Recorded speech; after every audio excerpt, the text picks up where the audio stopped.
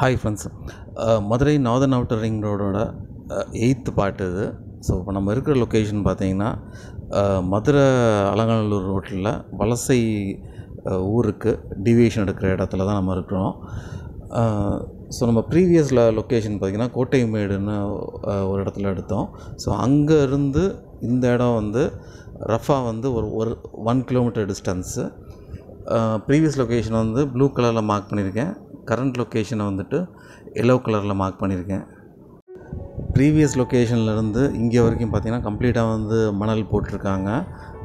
அது போக பார்த்தீங்கன்னா பாலை பால வேலை வந்து நடந்துகிட்ருக்கு பிரிட்ஜ் கட்டிகிட்ருக்காங்க இங்கேருந்து டுவர்ட்ஸ்